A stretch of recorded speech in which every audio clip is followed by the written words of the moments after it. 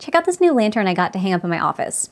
Now, as you can see, it is just made out of paper, which had me a little worried at first, but once I got it popped up, you can definitely tell that it's made really well. And while it is kind of thin, it's sturdy enough and it's really simple to set up. And I imagine once I get it hung up, I won't really need to mess with it much. Now to hang it, I got these light fixtures to go with it. And all I had to do was feed it through the top like this and hang it from the ceiling. And the fact that it's nice and light made it really easy to hang.